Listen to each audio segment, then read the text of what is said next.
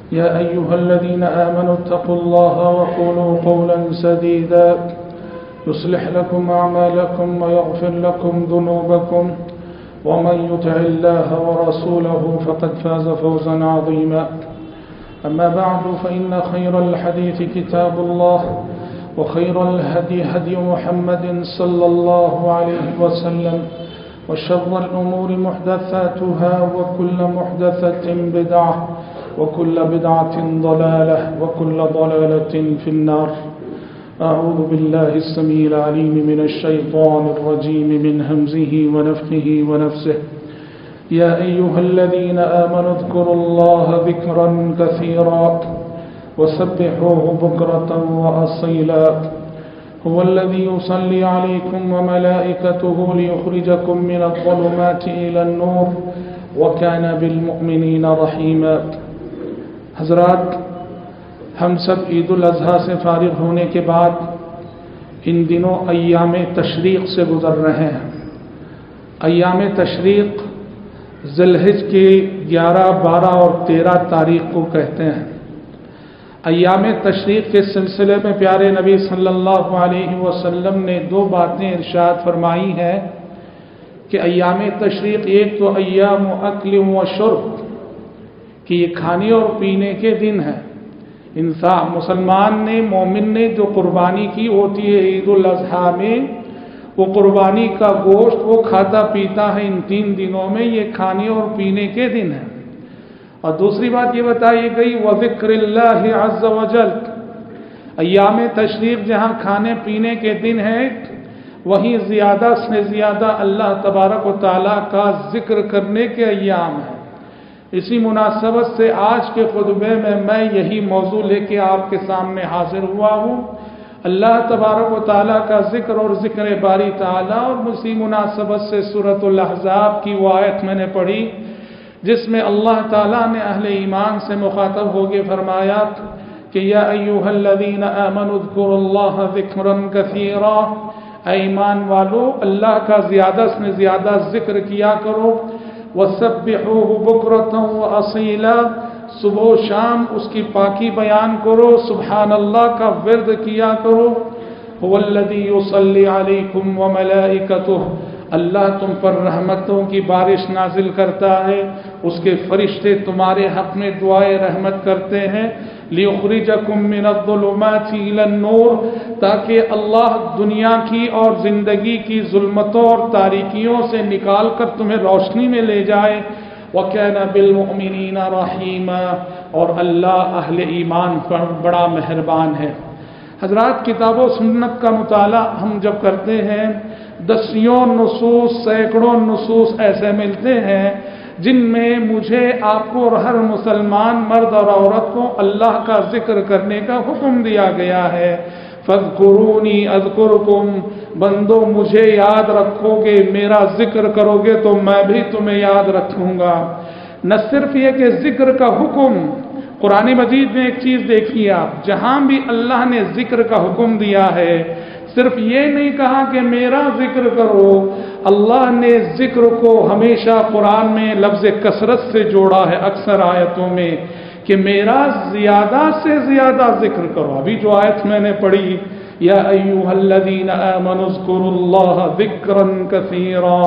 ईमान वालो, अल्लाह का ज़्यादा से ज़्यादा ज़िक्र करो। दूसरी जगह अल्लाह ने फरमाया वज़कुरुल्लाह कसीरन लअल्लकुम अल्लाह का ज़्यादा से ज़्यादा ज़िक्र करो ताकि तुम कामयाब हो जाओ। मोमिन मर्दों और औरतों की सिफत बयान करते हुए फरमाया वज़ाकिरीन अल्लाह कसीरन वज़ाकिरात मोमिन मर्द अल्लाह का बहुत ज़्यादा ज़िक्र करने वाले होते हैं और मोमिन औरतों भी औरतें भी अल्लाह का बहुत ज़्यादा ज़िक्र करने वाली होती हैं। तो ज़िक्र करना है और ज़्यादा से ज़्यादा करना है। अहले ये नुक्ता लिखने हैं। इंसान जो ज़िक्र करता है, उस ज़िक्र के कुछ असरात उसकी ज़िंदगी पर मुरतब होते हैं। ज़बान में तासीर पैदा होती है। बहुत कुछ उसकी गुफ्तगु में वक़ार आता है संजीदगी आती है। ये सब आसार इंसान की ज़िंदगी पर ज़िक्र की वजह से उस वक्त मुरतब होंगे जब इंसान कसीर ज़िक्र होगा। अल्लाह का ज़्यादा उसने ज़्यादा ज़िक्र करने वाला होगा तो जो बंदा, जो बंदी अल्लाह का कसरत से ज़िक्र करने वाले होते हैं, इस कसरत ज़िक्र के असरात उनकी ज़िंदगी में, उनके शब रोज़ में, उनके लैलो नहार में, उनके तर्ज अमल में, उनकी गुफ्त, गुफ्तगु में, उनकी बातचीत में हर चीज़ में नज़र आता है। हजरात ज़िक्र बारी ताला, अल्लाह ताला की याद और अल्लाह ताला का ज़िक्र। एक जाम तरीन इबादत है, एक सहाबी प्यारे नबी की खिदमत में हाजिर हुए, कहा, या रसूल अल्लाह इन शरा या इस्लाम कद कसूरत। कहा कि अल्लाह के नबी इस्लाम की तालीमत बहुत हैं बहुत हैं। मुझे कोई ऐसा जाम अमल बता दीजिए जो मेरे लिए किफ़ायत कर जाए। तो आपने उन सहाबी से फरमाया कहा कि जाम तरीन इबादत जाम तरीन अमल और जाम तरीन नेकी जानना चाहते हो तो बस एक चीज़ का अहतमाम कर लो ज़िंदगी में। कि हमेशा तुम्हारी ज़िक्र, तुम्हारी जबान ज़िक्र इलाही से तर रहे। तुम्हारी जबान पे हमेशा अल्लाह का ज़िक्र जारी रहे। हजरात, ज़िक्र, अल्लाह का ज़िक्र, ये अल्लाह की मोहब्बत का तकाजा भी है। अल्लाह से मोहब्बत की अलामत और दलील भी है। इंसान दिल से जिनको चाहता है ना, दिल में जिनकी मोहब्बत होती है बार बार उनका तस्करा उसकी जबान पे आता है। जिस चीज़ से भी इंसान को मोहब्बत होती है, उस चीज़ का तस्करा किसी ना किसी बहाने उसकी जबान पे रह रह कर आया करता है। चूँकि मोमिन अल्लाह से कल्बी मोहब्बत करता है, इस मोहब्बत का इजहार वो ज़िक्र की सूरत में करता है कि दिल में अल्लाह रब्बुल से जो मोहब्बत है वो मोहब्बत उसकी तस्वीर की शक्ल में, उसकी हमद की शक्ल में, उसकी किबरियाई की शक्ल में, उसकी अजमत की शक्ल में जबान से उसका इजहार हुआ करता है। इसीलिए जो खुदा फरामोश लोग होते हैं, अल्लाह को भूले हुए लोग होते हैं, उनकी अलामत ही कुरान ये बताता है कि जिनकी ज़िक्र जिनकी जिंदगियाँ ज़िक्र से खाली हैं जिनके शबो रोज ज़िक्र से खाली हैं, जिनकी सुबह ज़िक्र से खाली है, जिनकी शाम ज़िक्र से खाली है, जिनको अल्लाह का ज़िक्र करने की तोफीक नहीं होती समझ जाओ कि ये वो इंसान है जिस पर शैतान पूरी तरह गालिब आ चुका है। अल्लाह ने कहा इस्तवद शैतान फनसाहुम ज़िक्र अल्लाह। शैतान इन पे मुसलत हो चुका है, शैतान इन पे गालिब हो चुका है, और इसीलिए अल्लाह का ज़िक्र शैतान ने इन्हें भुला दिया है। अल्लाह के ज़िक्र की इन्हें तोफीक नहीं मिलती है। गोया हम मेरे और आपके लिए शरीयत एक पैमाना दे रही है कि हमारी ज़िंदगी में मेरे ऊपर शैतान किस कदर गालिब है, या मैं शैतान पे गालिब हूँ, ये जांचने का पैमाना ज़िक्र है। अगर सुबह शाम हमारी जबान से अल्लाह का ज़िक्र होता है तो खुश नसीब हैं हम, हमने अपने शैतान को मगलूब कर लिया और उस पर हमने जीत पा ली है। लेकिन अगर अल्लाह का ज़िक्र करने की तोबीक हमें नहीं मिल रही है, ये इस बात की दलील है कि मेरा शैतान मुझ पर गालिब आ चुका है और पूरी तरह से मुझ पर तसल्लुत पा चुका है। इसलिए अल्लाह ने कहा, जो लोग अल्लाह का ज़िक्र नहीं करते और अल्लाह के ज़िक्र को भुला देते का उलाइका हिजब शैतान। यही शैतान का ग्रोह है, यही शैतान की जमात है, यही शैतान की पार्टी है कौन जिन्हें कभी अल्लाह का ज़िक्र करने की तोफीक नहीं होती? तो जिनके दिलों में मोहब्बत होती है, अल्लाह की सच्ची मोहब्बत, उस मोहब्बत का इजहार ज़िक्र की शक्ल में होता है। हज़रत, देखो, मेरा और आपका जो दिल है ना, इस इंसानी दिल पे जंग लगता है। लोहे को जैसे जंग पकड़ता है, मेरे और आपके दिल को भी जंग लगता है, और इस जंग की वजह से मैं और आप गफलत की नींद सो जाते हैं। याद रहे, इस जंग को दूर करने वाली चीज़ और हमारे दिलों को जिला बखशने वाली चीज़ अल्लाह का ज़िक्र है। जब जब अल्लाह का ज़िक्र करोगे, जैसे जैसे ज़िक्र करोगे, ये जन दूर होता जाएगा और दिल फिर से तरोताज़ा होता जाएगा, ज़िंदगी आ जाएगी। इसीलिए हदीस में प्यारे नबी ने फरमाया, बुखारी शरीफ की हदीस है मसलदी जो अल्लाह का ज़िक्र करता है उसकी मिसाल जो अल्लाह का ज़िक्र नहीं करता उसकी मिसाल जिंदे और मुर्दे शख्स की सी है अल्लाह का ज़िक्र करने वाला ज़िंदा है और अल्लाह का ज़िक्र ना करने वाला मुर्दा है पुरानी मजीद कहता है पुरानी मजीद कहता ये जो दिल है ये जो दिल है इसमें चैन, इसमें सुकून, इसमें राहत, इसमें करार, तभी मिलेगा, तभी आएगा।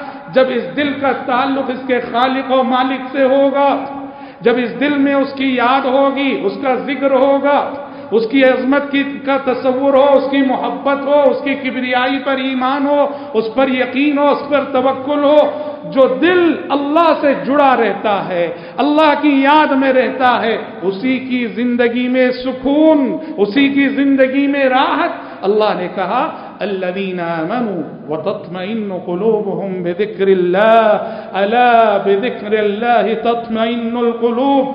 जो लोग ईमान लाते हैं उनके दिलों को अल्लाह के ज़िक्र से इतमान मिलता है। अला और सुनो इंसानों दौलत में सुकून को ढूँढने वालों व मनसब में सुकून को ढूँढने वालों, शोहरत में सुकून को ढूँढने वालों, औरतों से नाजायज ताल्लुकात में सुकून को ढूँढने वालों, दुनिया के पीछे पड़कर सुकून को ढूँढने वालों, सुकून के मुतलाशियों, सुकून यहाँ रखा हुआ है, आओ, अला बेदिक्र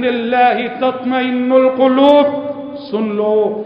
अल्लाह के ज़िक्र ही से दिलों को इत्मीनान मिला करता है। अल्लाह की कसम, दो रकात खुशू खजू के पढ़कर इंसान जो सजदा करता है, अल्लाह से मुनाजात करता है गिरी औजारी करता है, इन दो रकातों में, इस सजदे में जो सुकून मिलता है, खुदा की कसम किसी फाइव स्टार होटल में भी जाके बस जाओ, आपको वो सुकून, वो राहत, वो चैन कभी नहीं मिलेगा। अल्लाह कह रहा तत्मइनुलूब सुन रखो कि अल्लाह के ज़िक्र ही से दिलों को इत्मीनान मिला करता है।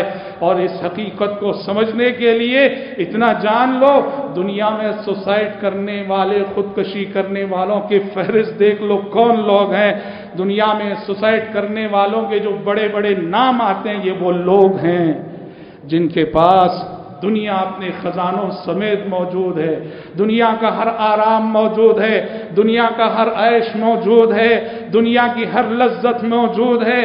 दुनिया अपने खजानों समेत उनके पास मौजूद है। और क्या सबब है, क्या वजह है कि वो खुदकुशी करते हैं? ये इस पुरानी हकीकत का वाज सबूत है कि इंसानी ज़िंदगी का चैन सुकून अगर अल्लाह ने रखा है तो सिर्फ़ और सिर्फ़ ज़िक्र बारी ताला में अला बिक्र तत्मइनुलूब लोगों, सुनो, अल्लाह के ज़िक्र ही से दिलों को इत्मीनान मिला करता है।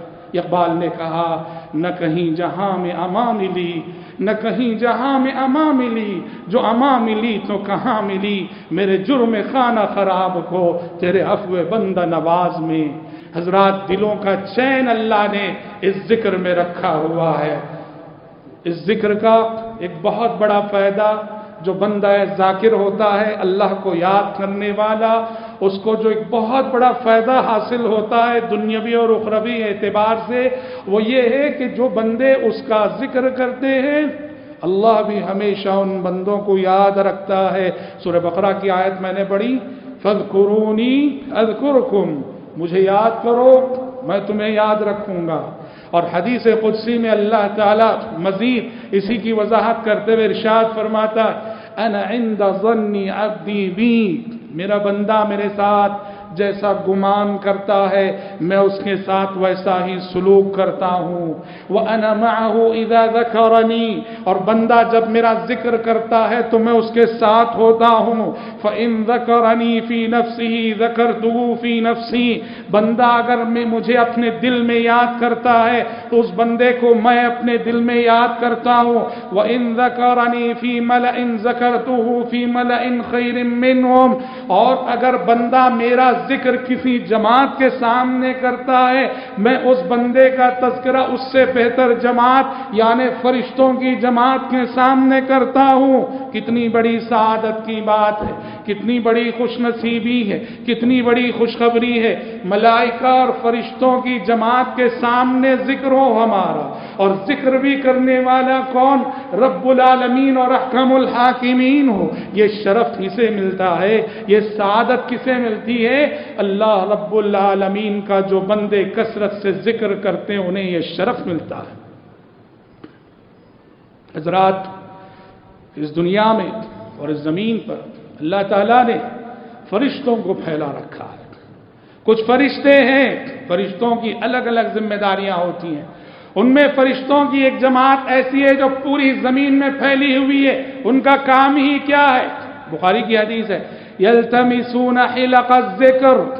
वो फरिश्ते ढूंढ रहे होते हैं कि कहाँ ऐसी मजलिसें जमा हैं जिन मजलिसों में अल्लाह की अल्लाह का ज़िक्र हो रहा हो, अल्लाह की अजमत के तस्करे हो रहे हो, फरिश्ते उन मजलिसों को ढूंढ रहे होते हैं और जब ऐसी कोई मजलिस मिल जाती है, दिख जाती है, फरिश्ते फरिश्तों को आवाज़ देते हैं, कहते हैं हलुम हाजतिकुम, चले आओ चले आओ, तुम्हारी मुराद यहाँ है, तुम जिन्हें ढूंढ रहे हो, वो बंदे यहाँ हैं, चले आओ फरिश्ते फरिश्तों को आवाज़ देते हैं, फिर ये फरिश्ते उस मजलिस को घेर लेते हैं। अल्लाह रब्बुल आलमीन उन फरिश्तों से पूछता है, हालाँकि अल्लाह को मालूम है, उसे पूछने की ज़रूरत नहीं, लेकिन अपने बंदों पर फख्र करने का एक अंदाज, अल्लाह फरिश्तों से पूछता है मेरे फरिश्तों, क्या कर रहे हैं मेरे बंदे? फरिश्ते कहते हैं, अल्लाह, ये सुबहान अल्लाह पढ़ रहे हैं, तेरी पाखी बयान कर रहे हैं। ये अल्हम्दुलिल्लाह कह रहे हैं तेरी हमदो सना कर रहे हैं और ये तेरी किबरियाई बयान कर रहे हैं अल्लाह अकबर कह रहे हैं ये तेरी तमजीद और बुजुर्गी बयान कर रहे हैं। अल्लाह कहेगा वह हल रओनी अय फरिश्तों क्या मेरे इन बंदों ने मुझे देखा है? फरिश्ते कहेंगे नहीं है अल्लाह उन्होंने तु, तुम्हें देखा नहीं है। अल्लाह कहेगा अगर वो मुझे देख लें तो फरिश्ते कहेंगे अल्लाह अगर आपको देख ले ये आपके बंदे और ज़्यादा आपका ज़िक्र कर, ज़िक्र करने लग जाएँगे। फिर अल्लाह कहेगा फरिश्तों मेरे बंदे इस मजलिस में बैठकर मुझसे क्या पूछ रहे हैं? क्या मांग रहे हैं? फरिश्ते कहते हैं यस अलून कल जन्ना अल्लाह तेरे ये बंदे इस मजलिस में बैठकर तुझसे तेरी बनाई हुई जन्नत मांग रहे हैं। अल्लाह कहेगा, क्या उन्होंने मेरी बनाई हुई जन्नत को देखा है? फरिश्ते कहेंगे, नहीं। अल्लाह कहेगा, अगर देख लें तो। फरिश्ते कहेंगे, अगर जन्नत को देख लेना तो उनकी तलब और बढ़ जाएगी। अल्लाह पूछेगा, फरिश्तों मेरे ये बंदे किस चीज़ से पना तलब कर रहे हैं? फरिश्ते कहते हैं, अल्लाह तेरी बनाई हुई जहन्नम से पना तलब कर रहे हैं। अल्लाह कहेगा, क्या इन्होंने मेरी बनाई हुई जहन्नम को देखा है? फरिश्ते कहेंगे, नहीं है अल्लाह। कहा, अगर देख लें तो? कहा, अल्लाह, अगर देख लें तेरी जहन्नम को तो और ज़्यादा वो पनाह मांगेंगे। अल्लाह कहेगा ऐ फरिश्तों, गवाह रहो, इस मजलिस में जिसने बंदे शरीक हैं, आज मैं उनके हक में बख्शिश लिख रहा हूँ, मगफिरत लिख रहा हूँ। मैंने इन सबको माफ़ कर दिया है, जो मेरी अजमत और मेरे ज़िक्र के लिए जमा हुए हैं। एक फरिश्ता कहेगा परवर दिगारा इस मजलिस में एक बंदा ऐसा भी है जो ज़िक्र के लिए नहीं आया था, बस किसी ज़रूरत के लिए आया, ऐसे ही बैठ गया है अल्लाह। वो ज़िक्र की नीयत से नहीं आया। अल्लाह कहेगा, हमुल कौम ला यशका बिहिम जलीसुहुम। हमल कौम ला यशका बिहिम जलीसुहुम। अल्लाह कहेगा, ये वो लोग हैं जिनके साथ बैठने वाला कभी बदनसीब ना होगा, बदशकल ना होगा, उसके हक में भी बख्शिश लिख देता हूँ। हजरात, ये ज़िक्र की फजीलत ज़िक्र करने वालों की फजीलत, ज़िक्र के हलकात की फजीलत, जो मसनून तरीके से, शरीयत के बताए हुए तरीके के मुताबिक बिदात से बचते हुए, इसलिए कि ज़िक्र के नाम पे बहुत सारी बिदात और खुराफात भी आ चुकी हैं। ये सब फजीलतें, उन मजलिसों पे फिट ना करें, जहाँ गैर शरी तरीके से ज़िक्र होता है। कैसे? गैर शरी तरीके का ज़िक्र कैसे?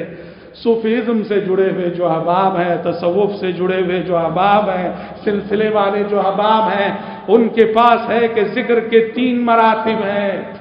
ज़िक्र के तीन मरातब है। मैं मिसाल दे रहा हूँ कि ज़िक्र में बिदात कैसी होती है, गैर शर्ई ज़िक्र कैसा होता है। कहा, सिलसिले वाले अहबाब के पास ज़िक्र के तीन मरहले होते हैं। एक है आम लोगों का ज़िक्र। आम लोगों का ज़िक्र, और एक है खास लोगों का ज़िक्र, और एक है खास में भी जो अखसुल खवास होते हैं, इंतहाई खास बंदे उनका ज़िक्र। कोया ज़िक्र के एतबार से तीन दर्जे और तीन कैटेगरीज उनके पास होते हैं। क्या है आम लोगों का ज़िक्र? आम लोगों का ज़िक्र है, ला कहते हैं ये आम लोगों का ज़िक्र। आम लोग ज़िक्र करेंगे, ला इलाहा इल्लल्लाह। अच्छा जो खास लोग हैं, ला इल्ला, इतना निकाल दो, आखिरी में जो अल्लाह है, खास लोगों का ज़िक्र सिर्फ़ अल्लाह। आम लोग ला इलाहा इल्लल्लाह पढ़ेंगे, खास लोग अल्लाह अल्लाह अल्लाह कर अल्लाह कहकर ज़िक्र करेंगे। और जो अखसुल खवास होते हैं, वो अल्लाह में भी अलिफ और दोनों लाम निकाल दो, आखिरी में जो हु, है ना? हु। ये खास लोगों का ज़िक्र है, इसीलिए आपने देखा होगा, मस्जिद के किसी कोने में बैठकर, खानखा के किसी कोने में बैठकर, हु हु हु हु की जरबे लगाते हैं। और कहते हैं कि हम अल्लाह तबारक ताला का ज़िक्र कर रहे हैं। ये बिदात है, ये बिदात है। प्यारे नबी का बताया हुआ ज़िक्र भी नहीं, प्यारे नबी की बताई हुई शरीयत भी नहीं है, और प्यारे नबी का बताया हुआ तरीका भी नहीं।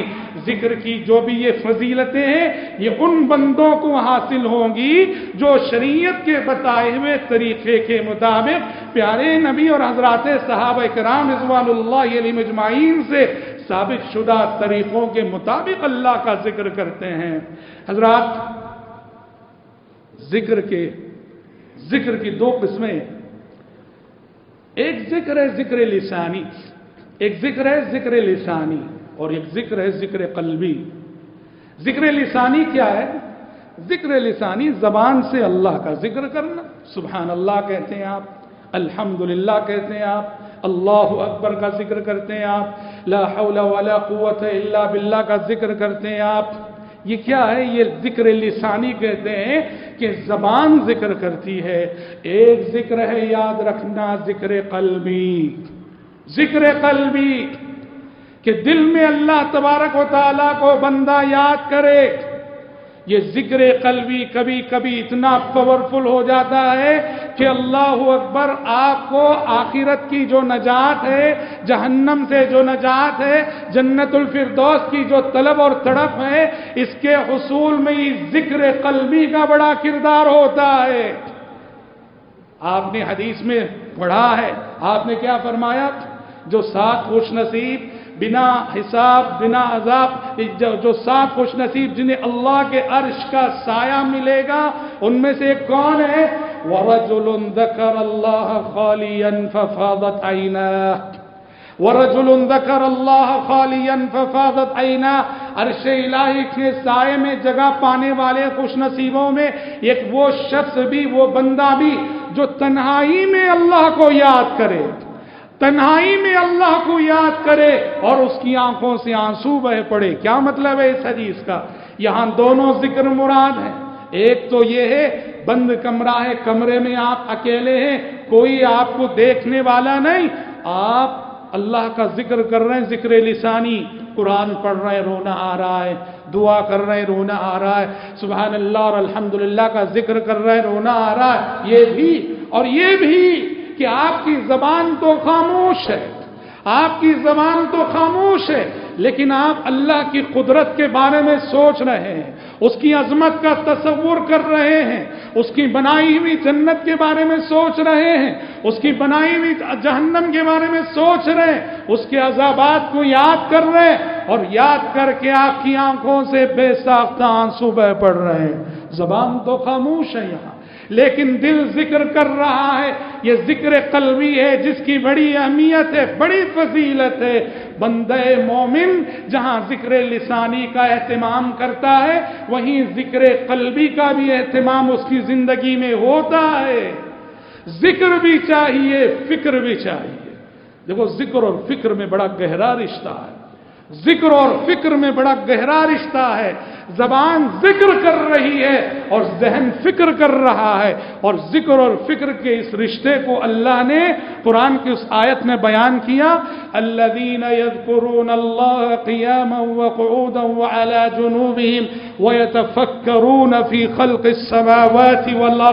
मेरे बंदे वो हैं जो अल्लाह का ज़िक्र करते, बैठ कर भी, लेट कर भी, खड़े होकर भी, और जबान ज़िक्र कर रही है और जहन और दिमाग फ़िक्र कर रहा है वह तफक्रू नफी कल समावाती वल्लर्ज जबान पे अल्लाह का ज़िक्र जारी है जहन और दिमाग अल्लाह की कुदरत की निशानियों में गौर कर रहा है और गौर करके ज़िक्र फ़िक्र का नतीजा क्या है कि बेसाख्ता उनकी जबान से ये दुआ निकलती है, रब्बना मा खलकता बातिला, सुबहानक फकीना अजाबन्नार परवरदिगारा, तूने ये कायनात बेमकसद नहीं बनाई, तेरी जात पाक है, फकीना अजाबन्नार हमें अजाब जहन्नम से बचा लेना।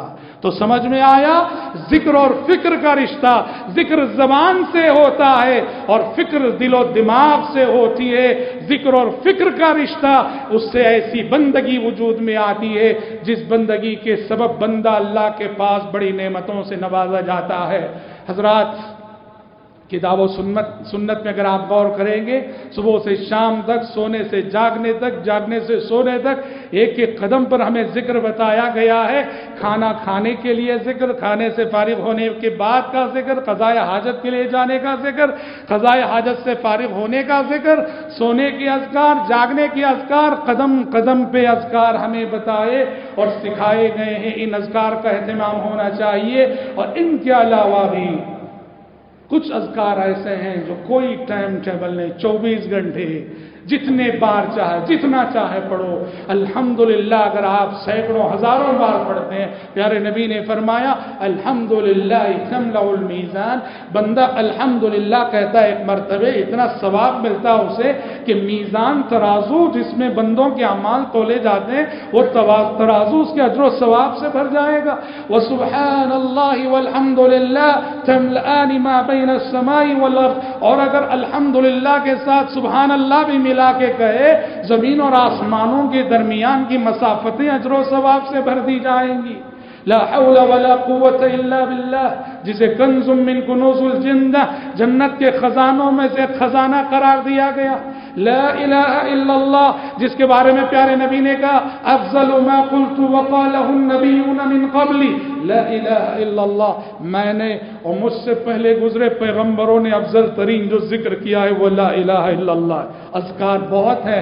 चलते फिरते अपनी जबान को ज़िक्र इलाही से तर रखिए।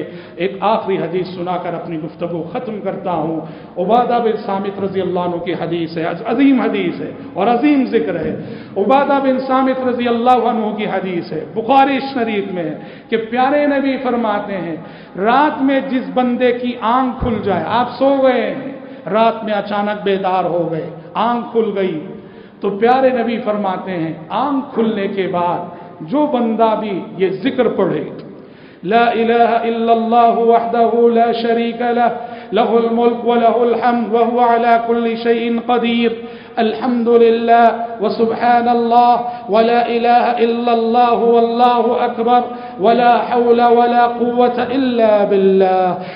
कहा कि आंख खुलने के बाद जो बंदा भी ये जिक्र पढ़े इस जिक्र को पढ़ने के बाद जो भी दुआ वो करेगा वो कबूल होकर रहेगी और अगर इस्तेगफार करेगा गुनाहों से माफी मांगेगा उसके गुनाहों की बख्शिश हो जाएगी और अगर वज़ू करके उठ के तहजद पड़ेगा, उस इबादत तहजद की कबूलियत की जमानत और गारंटी प्यारे नबी ने दी है। मोहम्मद बिन जमील जैनू, जो उम्मुल कुरा यूनिवर्सिटी मक्का मुकर्रमा के एक जलील कदर उस्ताद और आलिम गुजरे हैं वो लिखते हैं, ये मेरी ज़िंदगी का आजमाया हुआ ज़िक्र, मेरी ज़िंदगी का आजमाया हुआ नुस्खा है। ज़िंदगी में जब भी किसी भी परेशानी से मैं दो चार हुआ हूँ, रात में मैं जागता था, ये ज़िक्र पढ़ता था, फिर अल्लाह से दुआ करता था, मैंने इस ज़िक्र को पढ़ने के बाद ज़िंदगी में जो भी दुआ मांगी है मेरी वो दुआ कबूल होकर रही है। क्यों ना हो कि प्यारे नबी का वादा है? तो हज़रत, ये अजकार हमारी दुनिया और आखिरत को बनाने वाले अजकार हैं। हमारी ज़िंदगियों को अजकार से मामूर करना चाहिए। हमारी ज़बानों पे जब ज़िक्र आ जाए, हमारे दिल में जब अल्लाह का ज़िक्र आ जाए तो फजूलियात, गाने मौसीकी गाने बजाने जैसी फजूलियात और बकवास से खुद हमारी ज़िंदगी खुद ब खुद पाक हो जाएगी। तो अयाम तशरीफ़ से हम गुजर रहे हैं। ये ज़िक्र के अयाम हैं। यहाँ से ज़िक्र का सबक लीजिए और अपनी ज़िंदगी के शब रोज और लैलो नहार को अल्लाह के ज़िक्र से मामूर कर लीजिए। दुआ है रब्बुल इज़्ज़त से कि परवरदिगार आलम, मुझ कहने वाले को भी और आप सभी सुनने वालों को अपने उन बंदों में शामिल फरमाए जो कसीर ज़िक्र बंदे होते हैं बार बार उसे याद करने वाले बंदे होते हैं। अल्लाह आमीन। बारक अल्लाह बारक अल्लाह वलकुम फिल कुरान अज़ीम व नफ़अना वैयाकुम बिमा फीही मिन आयात व ज़िक्र हकीम इन्नहु तआला जवादुन करीम मलिकुम बर्रुर रऊफुर रहीम रब्बुल हलीम